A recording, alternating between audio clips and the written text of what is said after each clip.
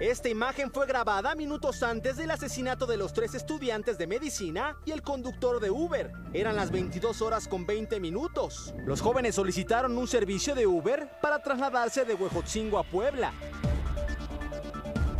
Los tres jóvenes acudieron a casa de un amigo de José Parada para presenciar el carnaval. En la imagen puede apreciarse al fondo el automóvil con las intermitentes encendidas. Se ve el vehículo Beat color plata modelo 2020 de Uber esperando. La familia del joven que los invitó se ven platicando con Jimena. Un par de minutos después aparece José Antonio y Francisco Javier que llevan sus mochilas en la espalda. También está su compañero, quien vive en Huejotzingo. Los tres jóvenes se despiden de la familia. Francisco Javier se acerca al Uber y le pide al chofer que abra la cajuela. El conductor se baja, los estudiantes colocan su mochila, se suben y se van. Nunca imaginaron que a minutos de este viaje perderían la vida.